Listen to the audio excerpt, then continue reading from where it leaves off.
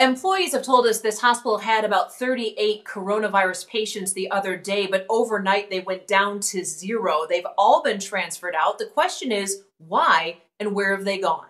They were transferring the patients in a hurry to get them out of there. Up until today, Jason Bradford worked in patient registration at Beaumont Hospital in Wayne. Bradford says his coworkers have been on the coronavirus front lines ever since the Wayne facility started curbside testing in March. And it just expanded from there, and before we knew it, we became an exclusive COVID 19 hospital. But about 10 days ago, employees say Beaumont Wayne stopped accepting COVID 19 patients from other locations. Then, this past weekend, healthcare workers tell us Beaumont Wayne started sending their current coronavirus patients away, including patients on ventilators. There was a message from one of the med staff that the EMS was hectic and, and busy and nonstop, just picking up patients and, and transporting them to other facilities. Bradford says he and other employees don't understand why. It's bad enough that they're not able to have family or friends or loved ones bedside.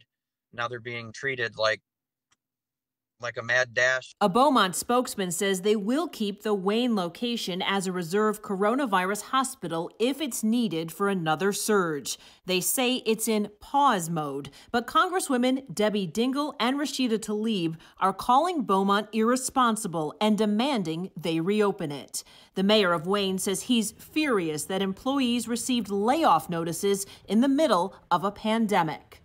Mayor John Rhaesa told us, quote, I want my ER open immediately. My residents deserve to have a hospital during this crisis. This should not be an issue. I expect more from you, Beaumont Hospital. How in the world could they possibly think of locking their doors and turning their backs on the community at a time like this, especially when we're expecting another surge?